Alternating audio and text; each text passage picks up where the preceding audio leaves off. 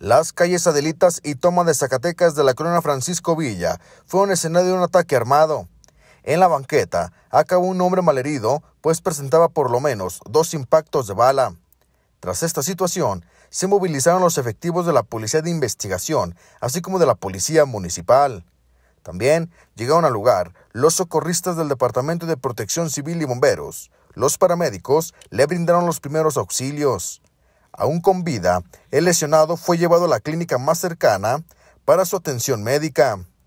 Para preservar la escena donde se cometió el ataque, fue acordonado el lugar. De los atacantes, se desconoce su paradero. En Fresnillo, Ángel Martínez, Info 9 Zacatecas.